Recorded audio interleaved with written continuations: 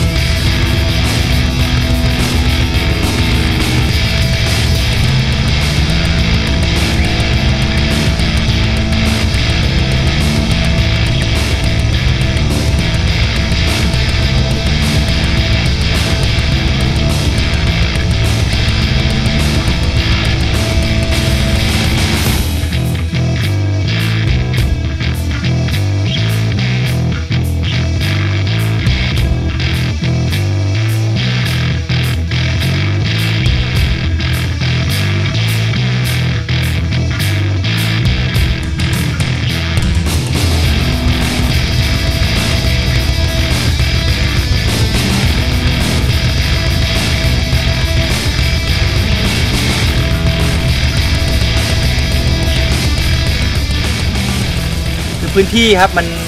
รกมากเลยนะครับ ตอนแรกก็คิดจะไม่เจอแล้วก็เจอ นี่นี่นะนี่ก็จะเป็นพฤติกรรมนะฮะในการที่อ่ามันอาจะหลบภัยนะครับเขาก็จะพยายามเนี่ยฮะซุกเข้าไป คือเป็นแบบนี้เนี่ยมันก็จะไม่แหวงกัดนะครับ ผม ก็คือเป็นสัญญาณการป้องกันตัวนะครับเดี๋ยวจะลองค่อยๆออกมาสิอะค่อยๆช่างค่อยๆเปิด เบาๆโอเคตัวมันไปเกี่ยวเขาวันข้างล่างอยู่ ดึงแรงไม่ได้ช่างช่างช่วยช่วยเปิดเห็นไหมมันจะเกี่ยวข้างล่างอยู่ ถ้าดึงแรงเนี่ยมันจะมีผลกับกระดูกสันหลังมัน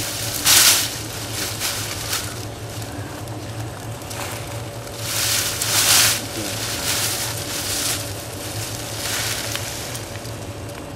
เป็นตัวไม่ใหญ่ครับเป็นงูสิงหางลาย ตัวขนาดไม่ใหญ่เท่าไหร่อะพยายาม โอเค เห็ นไหมฮะคือถ้าเราไม่ไปทำอะไรที่มันไปคุกคามเขามากเขาก็จะไม่อยากยุ่งวุ่นวายกับเราครับต้องระวังนะฮะไวไวเห็นไหมค่อยๆแต่ตาต้องมองหูตลอดเวลานะครับ เห็นไหมถ้าเราไม่ไปอะไรเขามากเขาก็ไม่อะไรกับเราจะลองไหมลองดูไหมลองไหมลองไหม ลองลองจับใช่ไหมอ่าลองจับดูกับผมเนี่ยเบาๆนะครับ ไม่ต้องไปอ่าทุกขามเขามาก สดจริงๆ ค่อยๆค่อยๆค่อยๆช้อนทองครับเบาๆเบาๆอย่าให้อ่าอย่าไปทำตามนะครับ นี่ก็อยู่ในการดูแลของอ่าผมก็คือเป็นคนที่มีประสบการณ์มากๆในระดับหนึ่งนะครับ นิ่งๆนิ่งๆอ่า นิ่งๆ อ่าค่อยๆเอามือเอามือรูดท้องไป รูดท้องไป อ่า ไม่เป็นไรไม่เป็นไร อ่า ไม่เป็นไรครับ อ่า เยี่ยมมากอะยกค่อยๆยกขึ้นเฮ้ยโอ้ยโอ้ทั้งโอเคไหมอืม เดี๋ยวเดี๋ยวเดี๋ยวผมเดี๋ยวผมเคลียร์ให้เดี๋ยวผมเคลียร์ให้เดี๋ยวทางนั่งเฉยๆอย่าอย่าอย่าขยับขยับนั่งเฉยๆนั่งเฉยๆเลยช่างนั่งเลย อย่าพยายามเคลื่อนไหวเดี๋ยวผมจัดการเจ้าตัวนี้ก่อนนี่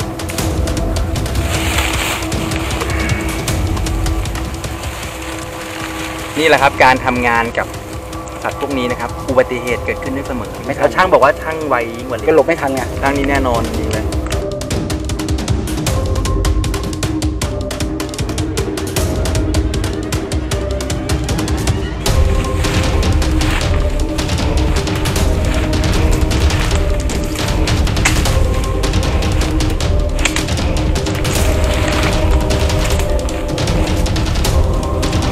การนะครับขันแบบนี้นะ คุณไม่มีเวลา คุณต้องคิดให้ทันนะฮะสติต้องมีตลอดเวลา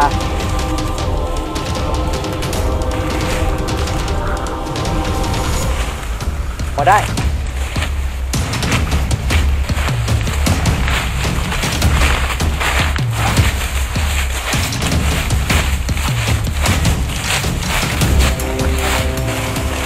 โอเคครับ ตอนนี้ก็เกิดเหตุที่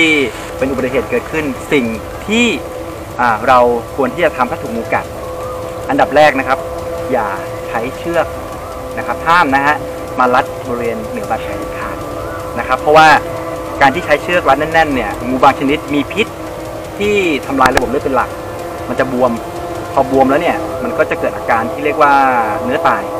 นะครับ สมมติเนี่ยอย่างผมเนี่ยใส่แหวนเนี่ย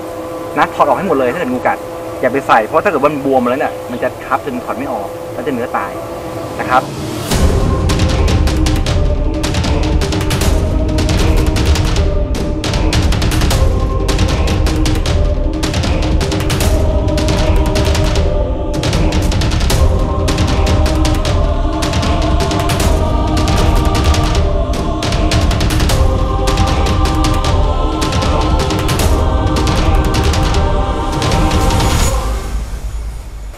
ถามว่าทำไมนะครับผมต้อง มีการพันแบบนี้ เนื่องจากว่าพิษของงูนะครับจะทำงานโดยอาศัยระบบนะครับ การหมุนเวียนของโลหิตหรือของเลือดของเรานั่นเองนะครับ ดังนั้นถ้าเกิดว่าทำอะไรที่เป็นการกระตุ้น การหมุนเวียนการสูบฉีดของเลือดนะครับผู้ถูกกัดก็จะได้รับผลกระทบที่ค่อนข้างเร็วนะครับ สิ่งที่ผมทำก็คือพยายามไม่ให้อวัยวะช่วงนี้เคลื่อนไหวนะฮะก็เลยหาสิ่งรอบตัวมาทำนะครับ แล้วก็ พยายามให้นะครับผู้ป่วยนะฮะอ่าได้รับความเขาเรียกว่าคลายกังวลใจ แล้วก็บอกไม่ต้องกังวลมันไม่มีพิษ แม้มันจะมีพิษก็ตามนะครับ รู้สึกกังวลไหมไม่วนเฉยเฉยๆใช่ไหมๆเฉยมันลูกผสมนะๆลูกผสมใช่มันมีเลยมีจริงลูกผก็สมนี่ไงลูกผสมที่ช่างบอกไงเหรออ่าฮะเฉยเฉยจริงอะรู้สึกเป็นไงตอนโดนกัดๆก็เจ็บจี๊ดๆครับเจ็บ คือมันมันกัดแต่มันเจ็บไวมันเวลามันกัดอะ มันจะไวเพราะเจ็บ อืม หลังจากขั้นตอนนี้เสร็จสิ้นไปแล้วนะครับ ก็อ่ารีบส่งผู้ป่วยให้พบแพทย์เร็วที่สุดนะครับ ก็คือว่าในคนทั่วไปเนี่ย ถ้าเราไม่ชัวร์ว่าเราจำแนกชนิดงูขาด ไม่ว่าโดนงูอะไรกัดนะครับ ก็ต้องรีบไปพบแพทย์ห้ามนิ่งนอนใจครับ เพราะว่าถ้าคุณเนี่ยจำแนกชนิดงูไม่ถูกต้องนะครับ ก็อาจจะมีปัญหาตามมาอย่างรุนแรงแต่ตัวนี้มีพิษไหม น่าจะไม่มีนะ อ่างูที่กัดช่างไก่ก็ยืนยันนะครับว่าคืองูสิงหางลายครับผมไม่มีพิษ แต่ว่าที่ทำอย่างนี้ก็เป็นแค่ให้คุณเห็นว่าถ้าเกิดว่าถูกงูกัดต้องทำยังไง อันนี้ผมค่อนข้างมั่นใจนะครับ เนื่องจากว่าผมศึกษาเรื่องงูมานานนะครับ ก็เลยสามารถจำแนกมันได้นะฮะเพราะฉะนั้นสบายใจได้ช่างไก่สงสัยไม่ใช่หรอว่างูลูกไอ้ลูกงูอย่างเงี้ยลูกผสมมันมีพิษใช่ไหมรอดูไหม น่าจะไม่มีอะน่าจะไม่มีนะครับน่าจะไม่ใช่ลูกผสมปลอบใจตัวเองแล้วนะครับ ก็คืออะเดี๋ยวของงูเลยครับวิธีการครับ งูสิงหางลายนะครับ ก็ชื่อมาจากหางนะครับ จริงๆก็ลายทั้งตัวแหละครับ แต่ว่าช่วงหางจะชัดเจนกว่านะฮะแล้วก็ถ้าเกิดว่าเราลองดูชัดๆนะ ตรงบริเวณหน้า ตรงช่วงปากเนี่ยจะเห็นว่ามันก็จะมีเป็นลายนะนี่ก็คือเป็นอ่าที่มาของชื่อ คืองูสิงเนี่ยอย่างที่เคยบอกช่างว่ามันมีหลายชนิดอือฮึมีทั้งสิงตาโต สิงหางลาย สิงหางดำนะครับ แล้วก็สีเนี่ยบางตัวก็สีเข้ม บางตัวก็สีอ่อนนะครับ มันก็เลยมีความแปรผันที่ค่อนข้างสูงนั่นเองนะฮะ ก็อะเดี๋ยวเราลองมาดูบาดแผลของช่างดูอาจารย์ครับเดี๋ยวขอนี่ฮะ ไม่มีน้ำนะครับอะช่างลองล้างบาดแผลด้วยน้ำแข็ง จริงๆแล้วผมข้ามขั้นตอนไปนิดนึงนะครับ เวลาช่างหันมาทางนี้ครับ ให้กล้องเห็นด้วย ผมข้ามขั้นตอนไปนิดนึงนะครับ ว่าจริงๆแล้วเนี่ยเวลาโดนงูกัดจะต้องต้องล้างบาดแผลก่อน ช่างเป็นอะไรบ้างเนี่ยเลือดตกใส่ผมเป็นบ้าเป็นบ้า โอ้ยกำลังนั่นเลยช่างฉีดเลบียังยังนี่เขาเรียกรอยฟัน ถ้าเป็นรอยเขี้ยวเนี่ยจะเป็นรูที่ใหญ่กว่า แต่จะมีรอยเขี้ยวอยู่เขี้ยวไงอ๋อนี่อันนี้เป็นจากการเหมือนเหมือนเหมือนกระชากนิดหน่อย อ่าแต่ว่ามีเขี้ยวอยู่เขี้ยวนะไม่มีเขี้ยวมันเป็นแต่ว่าฟันที่เลือดออกเยอะตรงเนี้ยมันพุ่งออกมาเนี่ยตรงเนี้ย มันเป็นรอยฟันเหรอ ไม่ใช่เขี้ยว คือเราเราจะเรียกเขี้ยวกับฟันเนี่ยเขี้ยวสำหรับเราจะเรียกสำหรับงูพิษก็คือจะมีสองเขี้ยวแต่ถ้าเป็นฟันเนี่ยก็จะมีหลายซี่เลยอะเดี๋ยวลองดูนั่นมากนะอย่าให้เขาบิดคอนะนี่ฮะ คุณจะเห็นนะครับว่ามันจะเป็นฟันนะฮะฟันแหลมๆเยอะแยะเลยนะครับ ข้างล่างจะมีอยู่สองแถว ข้างบนจะมีอยู่สี่แถว ไม่มีเขี้ยวเห็นไหมช่างอืมเห็นไหมมีแต่ฟัน เห็นไหมครับ เป็นฟันซี่เล็กๆเล็กๆเล็กๆมากมายเอาฟันเหมือนซี่เลื่อยใช่ไหมครับเวลาเวลากัดเนี่ยอย่าเรา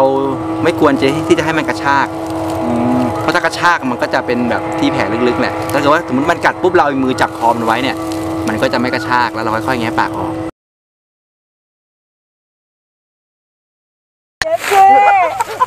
โดนแล้วครับเดี๋ยวเดี๋ยวโอ้ยยังเดี๋ยวเดี๋ยวเดี๋ยวเดี๋ยวไม้กดให้ทีเดี๋ยวเดี๋ยวโอ้เชี่ยแมันคมอะอะไรจับมันจับไม่เลยแต่รอบนี้ไม่ให้โดนรอบนี้ไม่ไม่ไม่ให้โดไม่นไม่เอาไม่เอาไม่ใช่ไม่ใช่รอบนี้ไม่ให้โดนจับคอพี่ก่อยที่มันไม่เนี่ย ได้ใจแล้วนะมันเลยกัดอีกว่าแม่ก็จะเซฟตัวไม่ให้โดนแล้วนะ โดนจนได้ เขียวนี่นี่เขียวเขียวไปเขียวยิ้ม ยิ้ม โอ้ยคือพอมีตื่นเต้นป่ะเนี่ยขารีบคิดก่อนฮะตื่นเต้นป่ะถ้าตื่นเต้นเลือดออก ธรรมดาเออ ที่เป็นคิดใจหมารู้อยู่ดูอาจารย์ดูจะสอนวิธีจับให้ดู เนี่ยพอมันเกี่ยวเงี้ย ก็คือมันก็จะไม่สามารถที่จะเคลื่อนตัวไปได้ครับที่ทำนี้เลยเนี่ยเวลามาปุ๊บปิดปั๊บเห็นไหมแล้วก็ค่อยๆไล่หัวแวกแวกเนี่ยเนี่ยเห็นไหมหัวอยู่นี่จับถ้าอย่างนี้มาปุ๊บมันจะกัดเราไม่ได้นี่อะอันนี้เราค่อยๆไล่อะเนี่ยบางทีพ วกพวกเนี้ยมันก็จะเป็นอุปสรรคในการทำงาน แต่ว่าเราอย่าห้ามไปเข้าข้างหน้ามัน เข้าข้างหน้ามันกัดได้ โอเคพีทครับขอสัมภาษณ์หน่อยครับผมโอ้โหเป็นยังไงบ้างไม้ห่างก็เลยไปทิ่มตาอะเป็นยังไงบ้างความรู้สึกไม่เป็นไรครับ ผมสดอยู่แล้วนี่นี่หน่อยแค่นี้ขอกินมากกว่านี้ผมเมื่อกี้ผมเมื่อกี้ผมได้ยินร้องกรี๊ดลั่นเลยนะ โดนแล้วครับ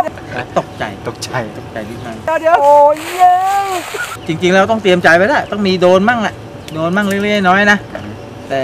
สำหรับงูไม่มีพิษนะ ถ้างูพิษอย่าไปโดนมันดีกว่า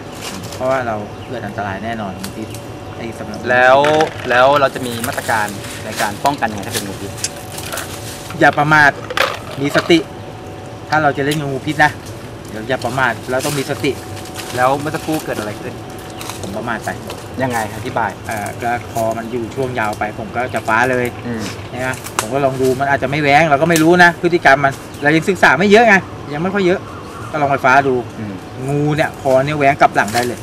แค่ช่วงนิดเดียวเออมันได้กลับหลังมันบิดอ่ามันบิดมันบิดบิดกรามบิดปากมันมาได้เลยพร้อมที่จะงับเราได้เลย อ่าเหตุการณ์ครั้งนี้อ่าสอนอะไรเราได้บ้างในในอนาคตครับ ก็จริง ๆ แล้วพฤติกรรมอย่างผมนี่ก็ไม่สมควรทำอะนะ ที่ว่าจะอยู่ๆแล้วไปประมาทจะไปจับมันตรงๆหรืออะไรเงี้ยนะจริง ๆ แล้วต้องให้ผู้เชี่ยวชาญดีกว่าอืมที่เชี่ยวชาญมากๆมากกว่าผมนะอืม ผมก็ยังไม่เชี่ยวชาญขนาดนั้น ใครคือผู้เชี่ยวชาญต้องเป็นระดับอาจารย์